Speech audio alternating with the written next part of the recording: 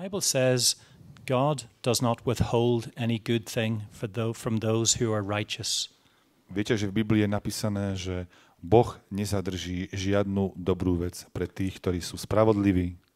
And by faith in Jesus Christ and his death and resurrection, A vierou v Ježíša Krista, v jeho smrť a v jeho vzkriesenie, we are declared righteous.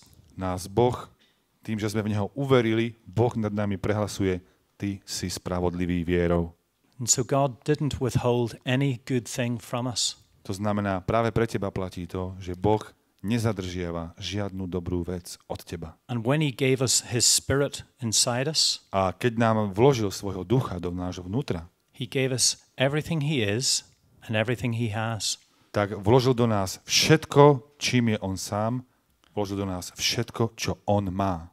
So that is the unbelievable power of the Holy Spirit which is inside us. A to je tá neuveriteľná moc Svetého Ducha, ktorá prebýva v nás. Somebody asked me today, how can we walk with Jesus all the time? How can we make sure he or with God all the time? How can we have his presence with us? Niekto sa ma dnes napríklad spýtal takú otázku, že ako je možné vôbec ako žiť s Bohom celý deň? Ako je možné celý deň žiť svoj deň tak, že ho žijem v Božej prítomnosti? To sa dá?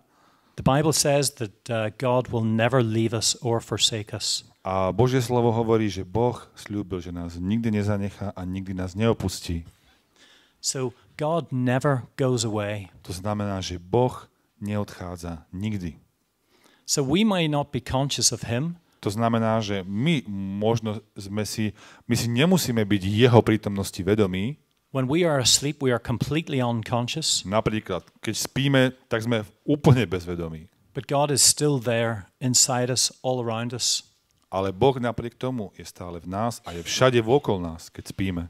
So it's not that he is not speaking to us or he is not with us, To znamená, že nie je to tak, že by k nám nehovoril alebo že by s nami nebol. but often it is that we're distracted by what we're doing and we forget about him. Ale často to je tak, že my sme vyrušení tým, čo robíme a mm, proste naša pozornosť je mimo a neuvedomujeme si ho, zabudneme na ňo. So, you know, we've been talking, we've been sharing lots of testimonies with you of wonderful things that God is doing. A zdieľali sme teda mnoho svedectiev a úžasných príbehov o tom, čo Boh robil. And it is not us who do them, it is the Holy Spirit and his power that does them. A treba zdôrazniť jednu vec. Nie sme to my, kto tieto veci urobil.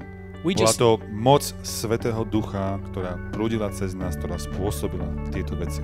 we just need to know how to cooperate with him. My sa potrebujeme naučiť len jedno, ako spolupracovať s Duchom Svetým.